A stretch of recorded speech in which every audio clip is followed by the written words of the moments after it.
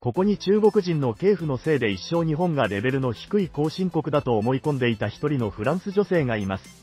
ところが驚くべきことに、中国で警察として働いていた彼女は、初めて訪れた日本で想像すらできない光景を目の当たりにしました。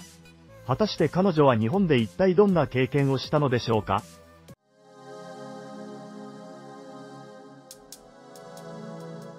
こんにちは、私はフランスの地方の貧しい町出身のトレティと申します。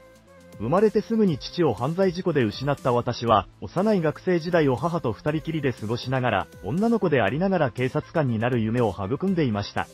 もちろんフランスで女性の身分で警察官になることは非常に難しいことですが、犯罪者のせいで父を失った経験からか、他の職業に対する夢は考えすらせず、警察官に対する熱望が強かったのです。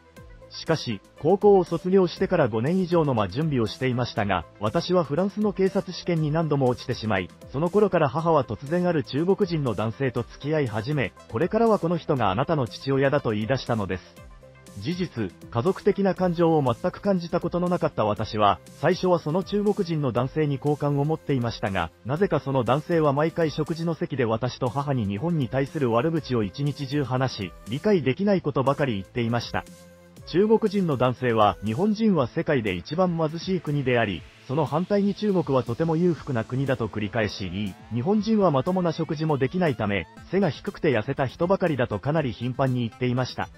そんなある日、中国人の男性は、今度は家族全員が中国で暮らさなければならないと突然言い出し、私に自分が知っている中国の公安を通じて、そこで仕事を学んでみてはどうかと提案しました。見知らぬ中国という国で警察として働かなければならないという話に、私は聞いた瞬間戸惑いましたし、中国に行きたくありませんでしたが、母はあの男性が我が家の経済を支えていると言って、私に中国行きを強要しました。しかし、その中国人の男性に従って初めて到着した中国は、想像を超えるほど奇妙な国でした。まず中国に到着してすぐに感じたのは、中国人のほとんどが洗わないという事実でした。中国人の男性に会うたびに、時々奇妙な匂いがして怪しいと感じていましたが、中国人がほとんどを占める中国に到着すると、空港からすでに理解できない不快な匂いが強く感じられました。また、中国は非常に裕福だという男性の話とは裏腹に、中国の空港にはホームレスはもちろん、外国人を対象に通行税を徴収する違法行為を行う犯罪者のような人々がかなり見受けられました。特にトイレが急で初めて入った中国の空港のトイレは、私が生まれて初めて目にした機械な携帯のトイレでした。そこにはトイレの仕切りがなく、用を足す様子をお互いに確認できる原始時代のトイレのようなもので、私は中国に到着してわずか1時間で、中国人の男性が私と母を騙していたことに気づきました。すでにその中国人の男性は、中国に定住するためには100万円以上の金が必要だと言って、私の母から金を騙し取っていたことを私は知っていたからです。しかし、中国人の男性の案内に従って到着した私たち家族が滞在する予定だった家は、私の想像をまたもや超えていました。フランスでは普通、一般的な木造住宅に住むのがほとんどですが、男性の案内で到着した中国の家は、仕上げすらまともにされておらず、コンクリートの粉が舞っているビラで、さらにビラの内部には電気すらまともに供給されず、正常な居住自体が不可能だったからです。しかし、私の当惑した表情を確認した中国人の男性は、中国ではこれも非常に裕福な人々だけが住む住宅形態だと無言の圧力をかけてきて、私はその男性に気づかれないよう、母の携帯電話で今すぐここから逃げようとメッセージを送りました。中国は先進国で裕福な国だというその男性の話とは裏腹に、ビラの外に見える中国の街並みは、ホームレスが車が行き交う道路に横たわって食事をしている光景で、さらにはスーツを着た中国人のビジネスマンでさえ家ではなく路上でスーツを着たまま寝泊まりしている様子が見えました。私はあまりに衝撃的な状況に、普段利用している SNS に中国人の男性が家族を騙したという内容と、中国の実態というタイトルで中国の写真をアップロードし、さらにその男性が母のお金を騙し取って日本をけなしているという説明も添えました。しかし、その書き込みをアップロードしてから約10分後、日本人の女性がコメントをつけ、その瞬間、私は言葉を失いました。あなたが直面している問題は、明らかに外国人を利用した国際結婚詐欺の形をとっています。彼はあなたの家族にお金を要求したはずで、その過程でただの暇つぶしに日本に対する悪感情を植え付けようとしている典型的な中国人の姿を見せています。その人と一緒に居続けると、さらに危険な事態に巻き込まれる可能性があります。もし助けが必要なら、私にメッセージを送ってください。私は日本の空港で働いており、あなたの家族のような移民詐欺の被害者を助けています。私はその日本人女性のコメントを見た途端、隣にいた母にもその文を見せたのですが、母もすでにお金を渡したにもかかわらず、こんな居住地で暮らさなければならないのかと中国人の男性と口論していたところだったので、状況の把握はさらに簡単でした。そして約2時間後、私と母は100万円はもう取り戻せないと判断し、しばらくマーケットで水を買ってくるという口実でそのコンクリートの粉が舞う中国のビラから逃げ出しました。すでに中国に来る前にフランスの家は売ってしまっていたため、私は母の最後の残りのお金で日本行きのチケットを買い、チケットを買うとすぐに中国の空港からその日本人女性に、今すぐ日本に行くので助けてほしい、というメッセージを送りました。まるで犯罪映画のような状況で、母は顔も知らないその日本人を信じていいのかとほとんど泣きそうな表情をしており、私はどうせもう誰も信じられないのだから、とにかく日本に行こうと言って日本行きの飛行機に乗り込みました。しかし、しばらくして初めて到着した日本の空港で、私と母は目の前の光景に呆然としました。直前まで経験していた中国の汚くて遅れた空港とは全く異なる風景が目の前に広がっていたからです。特に中国の空港では私たちのような外国人をほとんど見ることができず、何とも言えない違和感さえ感じていましたが、不思議なことに日本の空港には日本人よりも外国人が多く見えるほどで、日本への海外旅行の人気が非常に高いことが伺えました。外国人たちは皆、一様に驚いた表情で日本の空港を興味深そうに見て回っており、私はその瞬間になぜあの中国人の男性が私たち家族に日本を貶めるようなことを言ったのか、ようやく理解しました。もし私がこのような驚くべき先進国である日本という国について少しでも知っていたなら、私は絶対に母の中国行きを反対していたことでしょうし、その点を中国人の男性は懸念して、あらかじめ日本について否定的な話をしたのだと確信しました。特に日本の空港のトイレは中国の空港とは違い、個別の仕切りがあるだけでなく、スペースも非常に広くて旅行バッグを持ち込むことができるほどでした。また、フランスでさえ高価で一度も見たことがなかった便利な最新式のウォシュレットと、男性用、女性用のトイレにおむつ交換台が設置されており、様々な人々への配慮が感じられました。実際、フランスでは公共施設でさえ温水を使うことができず、おむつ交換台は女性用トイレにしかないため、赤ちゃんと一緒に外出した父親が路上でおむつを交換する姿を簡単に見かけるのが現実なので、私は日本がこんなにも豊かな国だったのかと母の手を握りしめ、大騒ぎせずにはいられませんでした。このような公共施設においてさえ、中国のみならずフランスをも超える姿を見せる日本は、私たち家族が一度も経験したことのない先進国の姿を見せてくれることが確実でした。その瞬間、私の SNS アカウントに先ほどの日本人女性から日本の空港に到着しましたかというメッセージが届き、自分が現在空港で勤務しているのでその場所に来てほしいと言われ、私はその瞬間、自分の目を疑いました。驚いたことに彼女は日本の空港で勤務し、私たちのような国際結婚詐欺にあった外国人を助ける部署で働いていたからです。約20分後、空港のデスクで彼女に会った私は彼女の顔を見るなり中国人の男性の言葉が全て嘘だったということを再び痛感しました。中国人の男性は確かに日本人は貧しくて肉さえ食べられず、背が低くて肌の状態が悪いと言っていましたが、驚くべきことに、初めて対面した彼女は肌が光り輝いているだけでなく、非常に美しく白い肌を持ち、フランスの女性よりも高貴に見えたのです。母もまた、先進国日本の現実に非常に驚き、こんな国があると知っていたら、もっと早く日本の男性と出会い、日本に来ていただろう、と言って急に泣き出し彼女は黙って私たちの母を慰めながら、これから私たちが対処すべき状況を整理してくれました。しかし、中国で残ったお金を全て使い果たして日本に来たため、私と母は観光客のように余分な服も宿もない状態で、私は結局彼女にこれから私たち家族がどうすればいいのかわからないと悩みを打ち明けました。すると彼女は私の話を聞くと、明るい笑顔を見せてから正式な支援をする前に、まずは空港のカプセルホテルで過ごせるよう手配してあります。シャワー施設や食事の設備も整っているので、生活の問題は全く心配しなくて大丈夫ですと驚くべきことを言い始めました。私は信じられず、彼女にどうして空港にホテルがあるんですかと尋ねましたが彼女は、フランスにはそのような施設が全くないのですか？と逆に驚いた表情を見せました。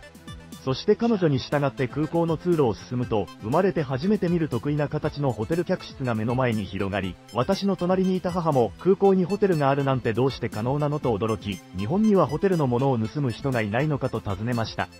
実際、フランスでは街中にある一般的なホテルでさえ、ホテルの寝具や簡単なウェルカムクッキー、さらには鏡まで盗まれる盗難問題が非常に深刻で、ホテルにチェックインする際には常に保証金や物を預けなければなりませんでしたが、日本のホテルではそのような問題が全くないように見えました。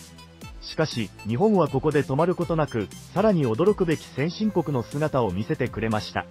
彼女は、これから1ヶ月間ここで過ごせばいいと言い、突然私に4桁の暗証番号を設定するよう言い、奇妙な形をした機械の前に行き、私の暗証番号を入力すると、すぐに空港ホテルのチェックインが終わったと驚くべきことを言ったからです。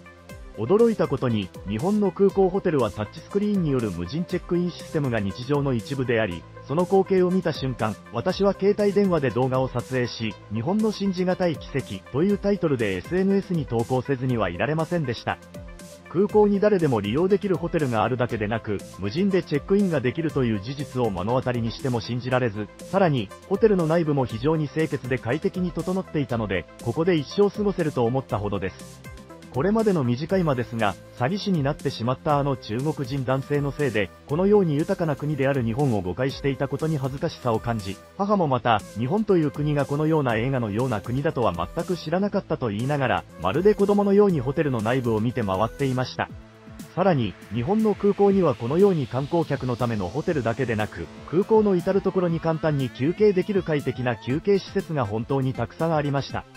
その中でも、ラウンジに入らなくても利用できるシャワールームの施設は、熱いお湯すら出ないフランスとは全く異なり、ただただ衝撃的でした。ところで、しばらく彼女の案内に従って空港を見て回っていたその時、母が突然咳をし始め、空港の床に座り込んでしまいました。実際、母は以前から肺に問題があり、日常生活に支障をきたすことが多く、その度にフランスで処方された薬を飲んですぐに回復していましたが、今はもう残った薬がない危機的な状況でした。特にフランスでは処方箋を通じて薬を受け取ろうとすると、病院の予約に3ヶ月以上もかかり、さらに大都市の中心部にある病院近くにしか薬局がなかったため、現在の日本の空港で急いで薬を手に入れることは不可能に見えました。そうして母は冷や汗をかきながら咳を続け、私はどうしていいかわからずにただ当惑していました。その時、しばらくトイレに行っていた日本人スタッフが私と母の様子を見て、どうしたのですか？と驚いた表情を見せ、私は母の症状を説明し、薬がなくてどうしたらいいかわからないと慌てて言いました。ところが彼女は突然周囲を見回し、私の話も聞かずにどこかへ走って行きました。私は単に彼女が空港業務で忙しくなったのかと思い、仕方なく周りの日本人に助けを求めようとしましたが、その瞬間、いつの間にか彼女が汗をかきながら戻ってきて、私に何かの封筒を差し出しました。実は、驚いたことに私と母が座っていた空港の椅子の隣には24時間営業の空港薬局があり、さっきは当然、空港に薬局があるとは思わなかったため、周囲を確認しなかったのです。彼女はまず空港薬局で咳をすぐに止めるための常備薬をもらってきたので、早くお母さんの安定を優先してください、と言い、水飲み場から水まで持ってきてくれた彼女の助けを借りて、母の応急処置をすることができました。約5分後、母はすぐに安定を取り戻し、私はようやく状況を把握し始めました。私は彼女に空港に薬局があるなんて信じられないと話しましたが彼女は日本では空港だけでなく人が多く集まる公共交通機関の施設にもほとんど薬局があると驚くべきことを教えてくれました。携帯電話で調べてみると、本当に日本の空港にはほとんど24時間営業の薬局があり、さらにフランスでは高くて手が出せないような共用の水飲み場まで空港に設置されていました。薬局が空港にあることも驚きでしたが、さらに理解できなかったのは、それほど高価な薬が周りにあるにもかかわらず、どの日本人もそれを盗まないという事実でした。実際、現在のフランスでは医療費の高騰のため、薬局だけを狙う犯罪集団がいるほど市民意識や治安が深刻ですが、日本はこのような後進国フランスの姿とは全く反対でした。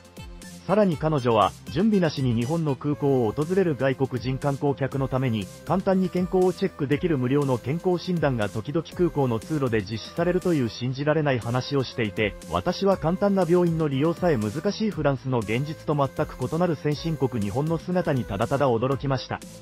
日本人にとっては何でもない普通の生活が、私や母のようなフランス人にとっては夢に書く豊かな生活だったからです。しかし、その後すぐに母は疲れ果ててしまったのか少し休まなければと言ってその場に座り込んでしまいました。私はその時ようやく、飛行機で少し座っていた時間を除けば、今日一日中母と一緒にまともに休まずに歩き回っていたことに気づきました。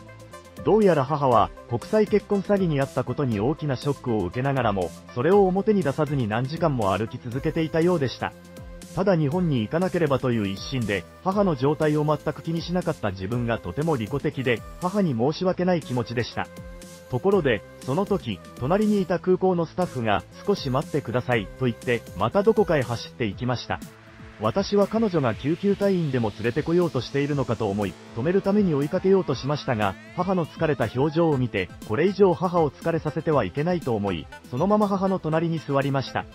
すでに日本に来たのだから少し余裕を持って母の歩調に合わせるべきだと考えたのです。そして少し後、遠くからその空港スタッフが小さな車のようなものと一緒に戻ってきました。一体彼女が連れてきたその小さな車は何なのかと疑問に思っていたその時、その正体に気づいて驚きを禁じ得ませんでした。彼女の隣にあったその小さな車は、日本の空港で運用されている電動車椅子で、歩行が困難な人や重い旅行カバンを持ち運ぶのが難しい人のために提供される無料サービスでした。さらにその電動車椅子にはタッチスクリーンが設置されており、空港内の目的地を入力すると、内蔵されたコンピューターが自動でルートを計算し、自立走行で目的地まで移動する機能まで備わっていました。空港で目的地まで自動で移動させてくれる車椅子だなんて、私は目の前にしても信じられず、このようなサービスを日常のように享受できる日本人が羨ましいとさえ思いました。また、障害者や高齢者といった社会的弱者への尊重と福祉が行き届いている姿を目の当たりにし、これからの日本での生活に対する心配や不安が消えました。特に日本に来る直前に訪れた中国では、体が不自由な障害者がバスやトイレなど基本的な生活インフラを利用できないだけでなく、障害者が市民に迷惑をかけているという理由で容赦なく罵倒するのを目にしました。まさに日本は空港からして最先端の未来都市とそれに見合う先進的な市民意識を見せており、このような先進国システムを作り上げたのは良心的で賢い日本人の高い民度があったからこそ可能だったのです。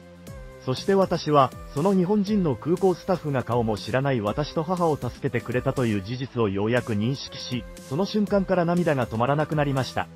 驚いたことに彼女は最近、中国人による国際結婚詐欺にあった外国人観光客が中国の空港で見捨てられる問題が深刻だといい、日本の空港ではそのような被害者のために一時保護システムを設けており、インターネットメッセンジャーを通じた被害防止もその方法の一つだと話してくれました。驚くほど発展した日本のデジタル文化は、日本人の被害を防ぐだけでなく、私たちのような外国人の生活にも大きな影響を与えていました。そして私は運よく日本人の空港スタッフの助けを受け、先進国である日本に来ることができたのです。その後、母と私は日本人スタッフの助けを受けて、空港で簡単なアルバイトをしながら、仕事とビザに関する問題を解決し、毎晩空港ホテルで過ごす快適な日々を送りました。そして、非常に運よく、私は日本の警備会社に就職することができ、母もまた空港の清掃を担当する仕事を得ることができました。誰かにとっては小さな額かもしれませんが、私と母はフランスで受け取っていた給料の2倍以上の額を日本で受け取っているため、これからは私たちが受けた恩を日本人に返し、先進国である日本社会の助けとなろうと思っています。今日の動画はここで終わります。ご視聴ありがとうございました。